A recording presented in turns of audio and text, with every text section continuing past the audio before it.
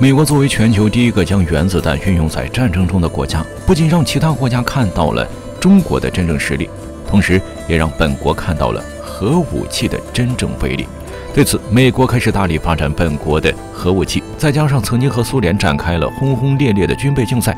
因此后者也拥有大量的核武器。此外，根据美国此前透露的消息，俄罗斯的核武器存储量大约在一千五百枚左右，当然主要指战略值班状态类的核武器。而且，美国也宣称本国核武器存储量达到了一千五百枚。如果算上封存待命类的氢弹，美国核武器数量将会大幅上涨。毕竟有消息称，美国的氢弹数量大约在六千枚左右。此外，刚刚脱离老组织的英国曾一度叫嚣让中国销毁所有的核武器，本国却要增加八十枚左右的核弹头。为此，也让外界认为是美国在背后指使英国这个马前卒。没有想到的是，近段时间所谓的头号强国再次打起了小算盘，扬言中国已经不具备核威慑能力。至少在该国看来，中国的核武器并不具备威胁能力。要知道。中国曾在1964年成功研发出了原子弹，于1966年再次研发出氢弹。可是，随着各国科技的发展，已经不再单纯依赖于单独发射核武器，而是转由洲际弹道导弹搭载核弹头执行打击任务。在这一领域，中美俄三国均取得了一定的成就，比如说民兵三、萨尔马特、东风四幺、东风三幺等等。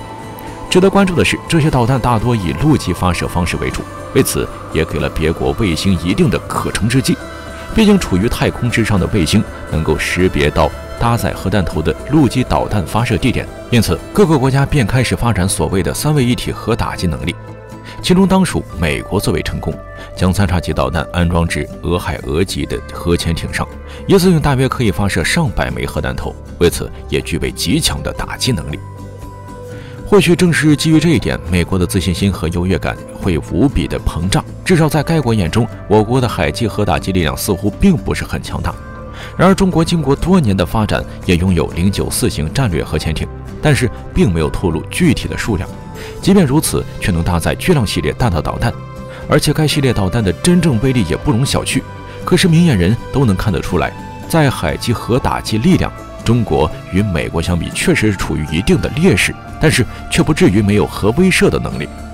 此外，美国此举或许是忘记了我国的核潜艇和东风家族的强大之处，而且或许想通过此举让外界将目光从中东美军势力的热点中转移，也可以理解为是美国故意而为之，并非我国不具备核威慑这张底牌。